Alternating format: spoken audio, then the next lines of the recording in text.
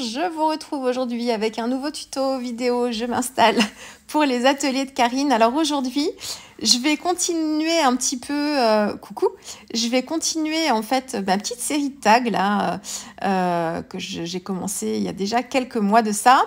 Euh, là, j'étais inspirée par des photos prises à, à Disneyland Paris.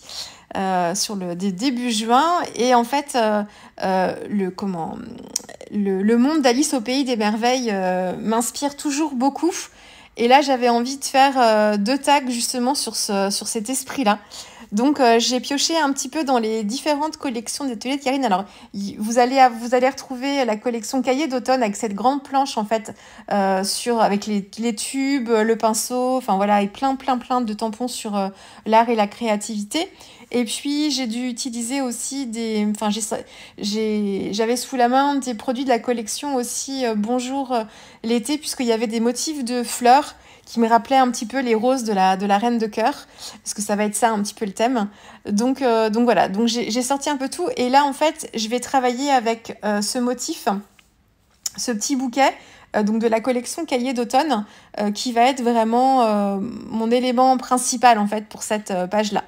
Donc, je travaille ici sur un papier aquarelle euh, en 100% coton. Et euh, je vais tamponner mes motifs. Euh, alors, oui, je tamponne. J'essaye de laisser. En fait, j'ai un pad d'encre qui est assez, qui est très récent ici, donc il est bien chargé en encre.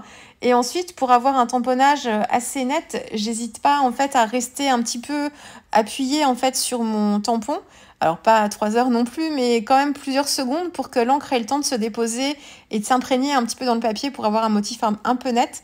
Là, je travaille sur euh, le papier euh, centenaire euh, de Gerstacker, qui est un papier en 100% coton qui est très souple et qui permet quand même un tamponnage plutôt précis sur un papier qui a quand même du grain parce que les papiers aquarelles, souvent en 100% coton, ont, pas mal d'aspérité, même s'ils sont à grain, fin et les tamponnages se font pas toujours très très bien.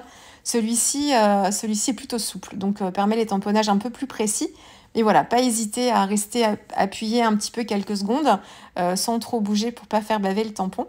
Et là, j'ai fait donc un tamponnage en haut à droite et puis j'ai fait une diagonale, le même tampon tourné un petit peu en bas à gauche. Je vais travailler avec mes aquarelles, euh, avec la technique du mouillé sur mouillé. Et je vais euh, commencer à créer en fait des zones de couleurs euh, sur mes motifs de tampons de façon assez grossière pour poser un petit peu les, les taches de couleurs. Je travaille avec des aquarelles artisanales, ce sont les, les couleurs VF. Je me suis fait, j'ai réuni tous mes petits godets dans une seule et même palette pour me permettre de les utiliser un petit peu plus souvent aussi. Et et je travaille donc dans le mouillé. Donc j'ai euh, pchité de l'eau sur mon papier. J'ai bien réparti en fait euh, l'eau avec un spalter pour me permettre de d'éviter d'avoir des flaques déjà. Et puis je le fais plusieurs fois. Vous voyez, je recommence parce que j'ai perdu, enfin perdu du temps. J'ai fait mes mélanges après avoir pchité de l'eau et du coup euh, ça a le temps de sécher un petit peu quand même. Et ça, faut pas hésiter. Quand on veut vraiment travailler dans le mouillé, il faut pas hésiter à euh, utiliser justement un pinceau. Alors un spalter c'est encore mieux parce que ça c'est un peu plus large et ça permet de travailler un peu plus vite. Mais euh, ça vous permet en fait d'imprégner votre papier. Il y a même les aquarellistes qui passent leur papier en 100% coton directement sous le robinet d'eau. Alors, souvent, euh, ça marche avec du papier 300 grammes, mais euh, il faut faire attention quand même, ça dépend de la qualité du papier coton quand même. Et il existe des papiers en 100% coton qui sont très très très épais, qui font presque 600 grammes pour certains, même plus je crois et du coup qui eux sont faits pour être passés vraiment sous le robinet d'eau, carrément trempés dans des bassines. Euh, bon là ici euh, c'est pas, enfin je sais pas si le papier résisterait, mais euh, là je, je, voilà je cherchais pas à faire forcément ça. Mais il faut pas hésiter à passer deux fois. Donc vous vous, vous pchitez de l'eau, vous passez votre pinceau, vous pouvez attendre un petit peu et vous repchitez de l'eau et vous repassez le pinceau dans un sens, dans l'autre. Et comme ça, ça va permettre au papier d'être bien mouillé à cœur et de conserver l'humidité plus, plus longtemps. Alors, euh, une fois qu'on a parlé du papier, tant que c'est humide, je euh, dépose mes couleurs. Donc j'ai commencé par appliquer des touches de lumière avec un jaune. Je vais pas vous donner les noms des couleurs, des couleurs VF, hein, parce que c'est voilà, des couleurs un peu particulières, mais qu'on peut retrouver aussi euh, dans des teintes similaires dans d'autres marques. Hein. Donc un jaune pour travailler le cœur de mes fleurs. Donc je prends un jaune plutôt dilué et je pose juste les taches en fait, des taches de couleur. Ensuite, j'ai utilisé le rouge, donc un rouge assez, assez vif pour, mais un peu dilué quand même, parce que je veux pas que ce soit trop chargé en pigment trop vite. Hein. donc je veux quelque chose de plutôt doux et plutôt flou. Donc je pose la, couleur rouge en fait sur la rose, mais avec le système euh, de fusion en fait, ça va fuser un petit peu en dehors du motif, mais c'est ce que je cherche avec cet effet flou. Et ensuite, tout le reste en fait de mon, papier va être euh, dans les teintes de vert. Donc là encore, euh, une couleur verte assez diluée et je vais poser mes couleurs sur les feuilles, donc tout autour de la, de la fleur. Le vert va se mélanger un petit peu avec les, les, zones qui sont un petit peu plus rouges. Et puis je complète comme ça, de manière à respecter un petit peu la diagonale. Donc je ne vais pas faire vert partout. Vous voyez là, je laisse une zone un petit peu plus claire en haut à gauche. Euh, idem en bas à droite, alors ça reste pas forcément blanc, mais on a une zone un petit peu plus, claire. Et par contre, je, viens intensifier là où j'ai le motif de feuille euh, avec le tamponnage, je viens intensifier un petit peu plus avec une couleur d'aquarelle euh, moins diluée, donc un peu plus chargée, un peu plus chargée en pigment. Ensuite, je sèche. Donc là, c'est après séchage. Donc vous voyez que ça s'est quand même très très très adouci tout ça. Euh, et du coup, là, je viens travailler plus les détails. Donc, sur un papier bien sec, je... donc ce sont exactement les mêmes couleurs à peu près. Et euh, je viens travailler, alors, j'ai pas travaillé l'intérieur des fleurs pour l'instant. Je m'occupe des feuilles là plutôt. Donc je travaille avec une couleur de vert un petit peu plus euh, jaune. Donc j'ai un vert dans ma palette et je viens lui rajouter un petit peu de jaune pour qu'il soit un peu plus lumineux. Et alors, les motifs de feuilles sont pas très très grands, hein, donc euh, je m'éternise pas non plus, mais euh, j'essaye de, avec une taille de pinceau plutôt petite ici, j'essaye de travailler un petit peu les ombres quand même. Donc, euh, une base de feuilles, enfin, je recouvre l'intégralité de mes feuilles avec ce mélange jaune avec un peu de vert, on va le dire plutôt comme ça. Et ensuite, je viens intensifier avec le, le, même mélange, mais avec une plus grande proportion en vert pour travailler un petit peu plus, un petit peu plus les effets de, contraste et de volume. Hein. Toujours, c'est voilà, pour apporter euh, un petit peu de vie et un petit peu de, un petit peu de 3D euh, à mon tag. Et là, je suis en train de travailler les, roses. Donc, en fait, pour moi, ce seront des roses. Hein. Ce sont peut-être des camélias ou des pivoines, mais pour moi, ce seront des roses ici. Et pour travailler, en fait, les détails, je viens, en fait, euh, ourler, si je peux dire ça comme ça, l'extérieur de chacune des, chacune des pétales. Euh, ça me permet de comment dire euh, d'apporter un petit peu de contraste en fait. Parce que le, les comment les, les motifs du tampon sont voilà c'est c'est un c'est une, une, rose qui euh, est assez fermée avec plein de pétales en fait qui se qui se chevauchent. Et c'est pas forcément évident de faire un dégradé sur des motifs de tampon comme ça. Ou du moins ça demande vraiment une précision et vraiment avec un pinceau assez fin et bien bien contrôler son geste. Et ici, en fait, comme j'ai déjà une base de couleurs, je peux me permettre de euh, suggérer en fait euh, les détails de la, fleur avec juste un petit liseré. Donc ce que je fais, c'est que je prends de la couleur, euh, donc mon rouge, que je dilue en fait presque pas, et avec un pinceau fin, je viens faire le contour de mes pétales, donc sur les extérieurs. Et là où j'ai de la place, je rince bien mon pinceau et euh, en essuyant un tout petit peu le pinceau pour pas qu'il soit trop gorgé d'eau, je viens en fait essayer de flouter un tout petit peu le trait que j'ai fait avec le pinceau pour me créer un petit dégradé là où c'est euh, là où c'est possible. Et donc du coup, ça va donner en fait un effet comme ça de, volume à la, à la, fleur parce qu'on va venir euh, travailler chaque pétale comme ça et, euh, et, la fleur prend volume au fur et à mesure, euh, au fur et à mesure des détails qu'on des détails qu'on lui ajoute. Donc je fais ça pour le motif qui est en haut à droite. Je fais la même chose pour celui qui est en bas à gauche. Et euh, alors, il y a, deux motifs de fleurs différents que je vais travailler pour autant comme si c'était la même fleur.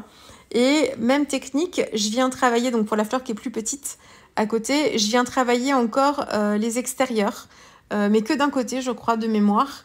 Et encore une fois, avec mon pinceau rincé, je viens étirer un petit peu la couleur là où c'est possible. Donc c'est un un petit travail de précision. Euh, et je trouve ça plutôt intéressant. Alors, c'est des, techniques d'aquarelliste, hein, euh, euh, enfin des, techniques d'aquarelle. soit on travaille sur une base blanche et on travaille tout de suite en fait le dégradé et les détails en faisant plusieurs couches, mais on travaille tout de suite voilà dans, dans, le, dans la précision. Ou alors on travaille dans le flou comme ça. vous avez pas mal de, de, de qui sont travaillés comme ça, où alors les, les, les, couleurs sont posées comme ça, pour les paysages surtout.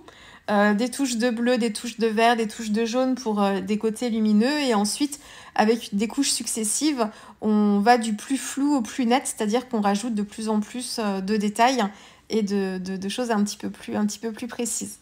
Quand j'ai fini de travailler mes éléments, j'ai repris en fait mon verre euh, que j'ai dilué pour euh, pouvoir avoir quelque chose d'assez fluide et euh, je me suis créé des gouttes. Donc là, il faut le faire sur un fond sec, autrement, enfin parce que moi je veux avoir des gouttes bien définies, je veux pas avoir des gouttes après qui se diffusent parce que j'aime moins cet effet-là. Donc du coup, ou alors il faut que le papier soit très humide et il faut que la fusion se fasse loin pour avoir une tache qui se crée après comme ça avec un halo. J'aime pas quand ça se diffuse, mais un tout petit peu. c'est encore une fois une question de goût personnel. Hein. Donc je fais ça sur papier bien sec et ça me fait des petites gouttes qui sont euh, assorties en fait à, mon fond. Donc euh, voilà, donc ça c'est pour mon fond de page. Ici, je suis en train de me créer euh, un autre fond dans lequel je vais découper un petit pola. Là, je n'arrête pas de l'utiliser, ce die pola. Donc, c'est la collection Bonjour l'été, encore une fois. et en fait, vous voyez, quand on travaille dans l'humide, euh, on a une aquarelle qui euh, va euh, se diluer encore un peu plus quand on va l'appliquer parce qu'elle sera appliquée sur une base d'eau. Donc du coup, au contact de l'eau, ça va voilà, avoir tendance à se diluer un petit peu.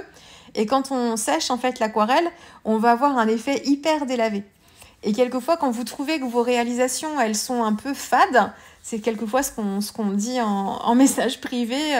Euh, c'est parce qu'en fait, euh, c'est pas que vous vous y prenez pas bien, c'est juste qu'il vous manque une couche ou deux pour euh, apporter un petit peu plus de vibrance. Donc là, c'est un bel exemple sur le petit pola. Donc vous avez vu la première couche que j'ai passée, elle était passée sur un papier qui était humide. Donc du coup, quand j'ai séché, et j'ai pas ajouté beaucoup de pigments non plus, mais même si j'en avais ajouté un petit peu plus, au, premier passage et au premier séchage, on va avoir un effet un peu blanchi qui est tout à fait euh, normal. Il faut pas hésiter à faire une deuxième couche par-dessus pour intensifier tout ça. Et là, vous voyez, euh, j'ai pas du tout retouché ma vidéo, elle est vraiment telle qu'elle. Euh, vous voyez les couleurs à peu près fidèles. Là, je trouve la vidéo c'est assez assez fidèle. vous avez, vous voyez que le polar il est quand même, il est quand même lumineux quoi. Il a quand même une intensité dans les couleurs. Donc c'est juste l'ajout de couches. Donc il faut juste y penser. Faut faut pas rester. Si vous trouvez que c'est trop fade, c'est qu'il vous manque des couches pour que ce soit un petit peu plus lumineux. Alors, j'ai travaillé euh, mon fond, j'ai refait un petit fond pour euh, découper mon pola, j'ai choisi ma photo que je, je, pensais mettre en noir et blanc et en fait j'ai préféré choisir la photo plutôt couleur. Et comme je prenais en fait qu'un tout petit bout de la photo, ce qui me gênait en fait sur la, photo couleur, c'est que j'avais d'autres détails en fait de, de, de qui, je voulais que du rouge et du vert et du blanc accessoirement. Et, euh, et en fait, j'avais trop de détails colorés autres. Mais quand j'ai découpé, enfin que j'ai placé la photo sous le pola, ça a enlevé en fait tous les détails qui me gênaient et j'avais vraiment que la concentration euh, euh, du vert et du rouge des cartes et du coup ça me convenait mieux. Donc quelquefois, faut pas hésiter non plus à, à, comment, à retailler vos photos aussi directement ou voilà à utiliser euh, d'autres petits embellissements pour glisser les photos dessous. Et du coup voilà ça, ça change aussi un petit peu le un petit peu l'esprit et, le, et le visuel. Alors là, je suis en train de travailler mes feuillages euh, pour compléter un petit peu euh, ma scène parce que je trouvais que mon fond, euh, j'aimais bien les roses, mais je, voulais travailler un petit peu plus quand même. Donc c'est un motif de tampon feuille qui se trouve sur la même planche de tampon cahier d'automne que le bouquet avec les, roses là que j'ai utilisé pour le fond de mon tag. Et je mets en couleur, donc là c'est pareil, les mêmes couleurs. Euh, le même vert euh, mélangé avec beaucoup de jaune pour me faire une base plutôt lumineuse. Et ensuite, je viens travailler euh, le contraste et le volume de ma feuille. Et en fait, là, j'ai plutôt d'habitude, je fais foncer à, comment, au, en bas des, comment je cherche mon mot au bas de la feuille en fait là où euh, où il y a les ramifications vraiment là au tout début à la base c'est bon j'ai trouvé à la base de la feuille très foncé et plus je vais vers la pointe de la feuille et plus je fais clair. Là j'ai pas fait comme ça. J'ai travaillé le bombé en fait de la feuille parce que le motif du tampon euh, est déjà travaillé un petit peu comme ça et je suis venue assombrir que d'un côté. Donc vous allez voir mes feuilles elles vont être euh, foncées bah là sur tous les en haut sur tous les côtés droits et je travaille le dégradé comme ça de droite à... Enfin là ça va être de gauche à droite si vous prenez la feuille dans l'autre sens. Mais euh, donc voilà, donc c'est le motif du tampon qui m'a inspiré et je trouve plutôt ça sympa de le faire comme ça aussi. On a un effet de volume qui est un peu plus important que quand on travaille euh, euh, le dégradé du, bas, du bas vers le haut. Quand j'ai détouré, j'ai laissé un petit bord blanc tout autour pour apporter un petit peu de lumière. Alors je ne fais pas systématiquement, mais ici, euh, quand je fais des pages d'air journal, je détourne au plus proche du trait du tampon. Mais quand je fais des pages de scrap, euh, je détourne mes tampons comme des embellissements et du coup j'aime bien laisser un petit, un petit tour blanc tout autour et là ça permet aux feuilles de se détacher un petit peu. Et le mot couleur vient d'une planche de tampons de la collection Raconte-moi, une planche sur l'art. Donc euh, voilà, et puis pour le reste, je crois que je vous ai tout dit. Je vous laisse avec la dernière photo et puis on se retrouve très vite avec un prochain tuto pour les ateliers de Karine. Au revoir.